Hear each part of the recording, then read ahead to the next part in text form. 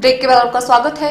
गलोट तहसील के अंतर्गत अचानक आई बारिश और आसमानी बिजली के गिरने से जरमानी गाँव में धर्मचंद का मकान पूरी तरह तहस नहस हो गया। धमाका इतना जोरदार था कि घर के मुखिया धर्मचंद को भी धमाके के दो घंटे बाद होश आया। आसमानी बिजली की तीव्रता इतनी ज़्यादा थी कि पीपल के पेड़ और खेत को तहस नहस करते हुए बिजली घर के कमरे में दीवार और लोहे के ग्रिलों को तोड़ती हुई आसमानी बिजली दूसरी तरफ़ से क्रॉस हो गई।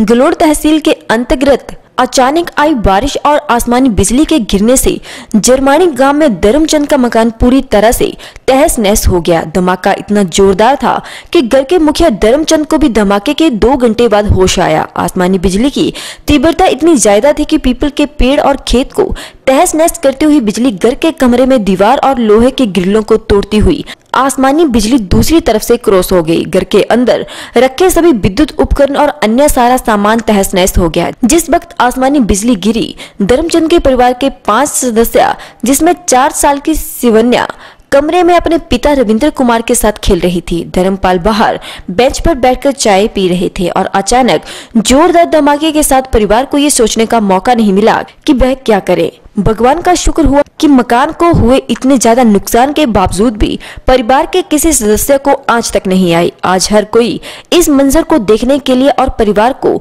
डांडस बंधाने के लिए उनके घर पहुँच रहा है। जिस किसी ने भी आज इस मंजर को देखा है और घर को हुए नुकसान को देखकर हैरान ज़रूर था। आज पूर्व विधायक नादौन और प्रदेश उपाध्यक्ष विजय अग्निहोत्री परिवार को ढांढस बांधने उनके घर पहुँचे। उन्होंने पीड़ित परिवार को राहत पहुँचाने के लिए जिला प्रशासन को फ़ोन किया। जिला प्रशासन की तरफ़ से पीड़ित परिवार को तहसीलदार मीना ठाकुर ने दस हज़ार की फ़ौरन राहत राशि प्रदान की। विजय अग्निहोत्री ने भी परिवार को अपनी जेब से पाँच हज़ार की राशि दी। उन्होंने विद्युत विभाग से तुरंत पीड़ित परिवार को बिजली का मीटर लगाने व कनेक्शन देने के आदेश दिए। धर्मचंद का परिवार मध्यम वर्गीय परिवार से संबंध रखता है। आसमानी बिजली गिरने से मकान को लगभग 15 लाख के करीब का नुकसान हुआ है, क्योंकि घर में लगे सभी बिजली के उपकरण और पूरा का पूरा मकान जो अभी चार साल पहले बनाया था, पूरी तरह से जर्जर हो चुका है। आसमानी बिजली गिरने का धमाका, इतना जोरदार था कि आसपास के कई गाँवों में भी लोग धमाके की आवाज़ सुनकर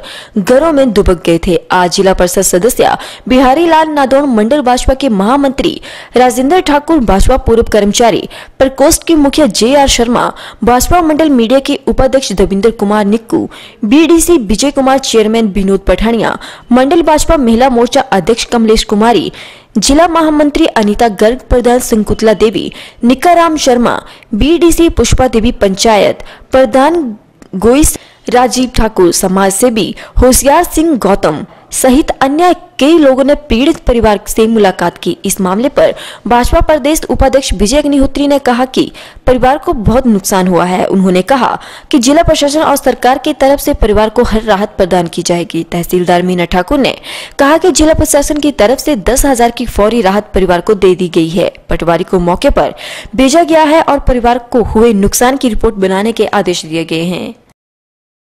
जी रविंदर जी बताइए कल ये जो आसमानी बिजली गिरी ये उस वक्त आपका परिवार कहाँ था? मैं भी घर पे था मेरी भी छोटी बेटी घर पे थी हम पाँच बंदे घर पे थे मम्मी पापा मेरी वाइफ घर पे थी। करीब ये छह बजे के छह बजे के करीब टोटल पाँच लोग आप यहाँ थे। जी।